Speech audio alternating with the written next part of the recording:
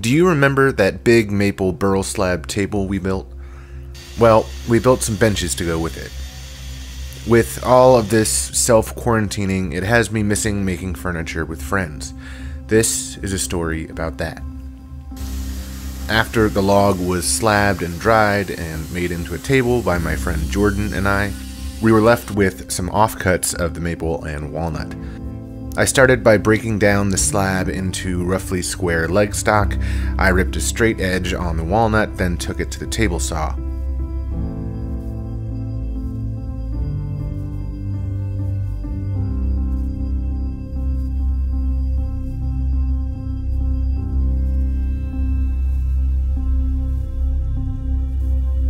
While I was ripping the leg stock, Jordan would take them over to the jointer and joint two faces. We would mark the jointed faces to help keep track of them.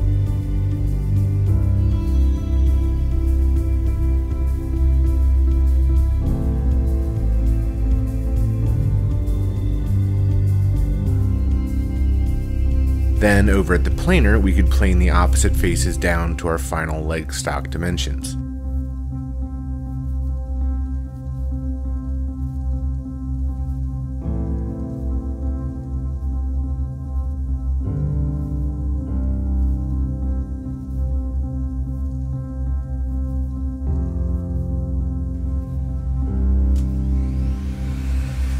I'm a pretty visual person, so when it comes to laying out the parts of a bench like this, I like to make scale drawings to help me get my angles to look pleasing to the eye, but also to stabilize the bench.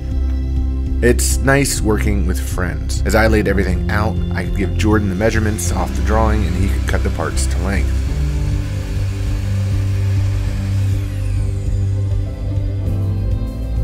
You think you cut it right?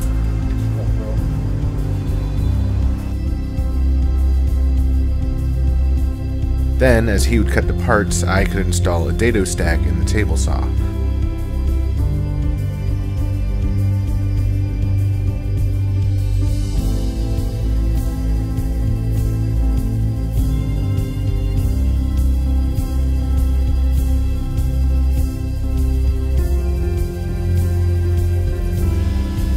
Found the key to tight fitting joinery is repeatability, so I like to cut all of the parts that are the same at the same time using a stop block.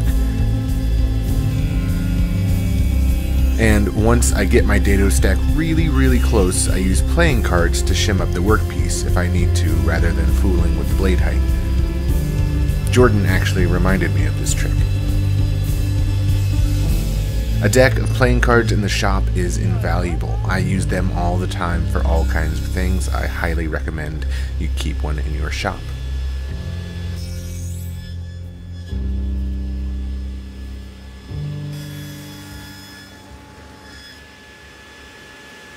Even with repeatability, there can still be variables that can cause a too tight fit, like sawdust between the workpiece and the stop block. This is where a very sharp hand plane comes in handy to finesse the joint. I also miss having someone else in the shop because I don't get to laugh as much. Not only did having two people in the shop make us more productive physically, but the camaraderie made me more productive mentally and in a better state of mind.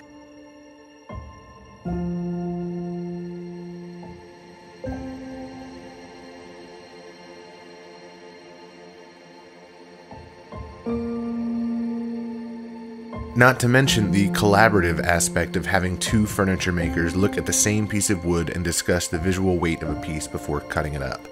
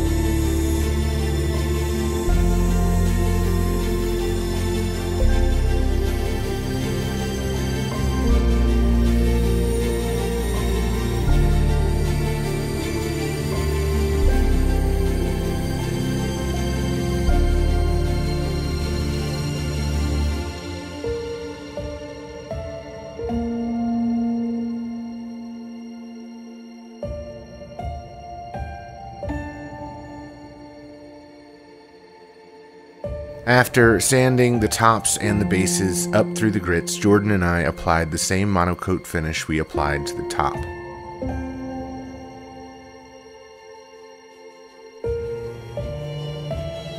Once that was dry, we attached the tops and took the longest hour drive to Richmond, which also feels a bit shorter with somebody else in the truck.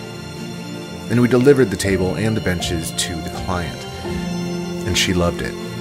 I guess what I'm trying to say is before this COVID pandemic, there were a lot of things I took for granted.